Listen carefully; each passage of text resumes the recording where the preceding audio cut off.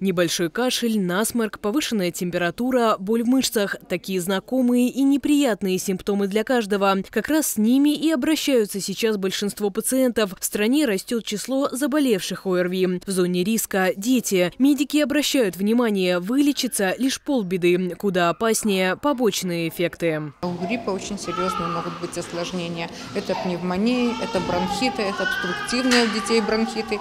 И дети, дети потом начинают попадать, конечно, в детскую больницу. Основная защита – это прививка. Вот. И наши дети прививаются, ну, в основном это против гриппа.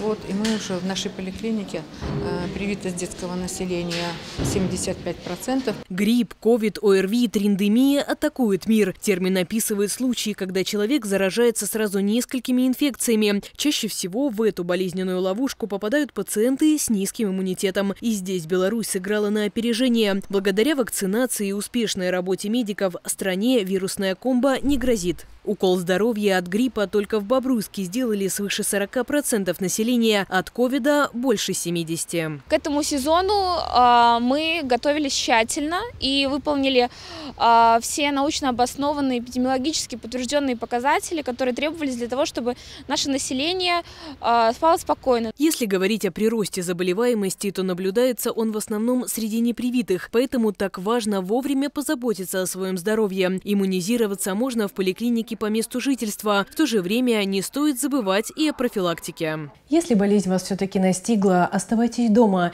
Пейте больше жидкости, простую воду, чай с медом или лимоном. Соблюдайте постельный режим. И главное, сходите на прием к врачу. Что касаемо медикаментов, посыпать голову пеплом и штурмовать полки аптек не стоит. Препараты представлены в большом объеме и широком ассортименте. Многие учреждения работают круглосуточно. Но и здесь на первый план выходит личная ответственность, ведь, как известно, ваше здоровье в ваших руках. И беречь его нужно с молоду. Карина Гуревич, Максим Галеонка, Бобруйск, 360.